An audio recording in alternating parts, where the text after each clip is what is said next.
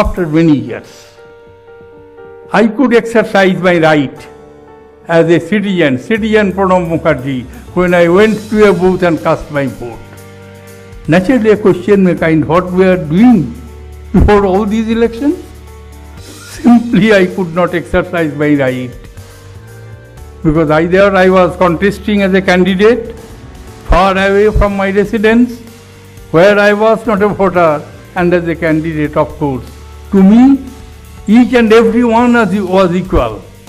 But in election, I am to choose somebody.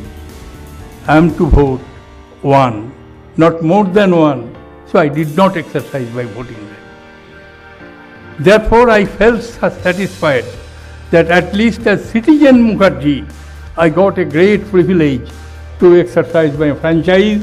I am living in Delhi. I have transferred my voters. Uh, name in voters list has been transferred. Name in the voter list has been transferred to Delhi in the New Delhi constituency. But I cannot see whom I vote. But I voted. I voted after many years.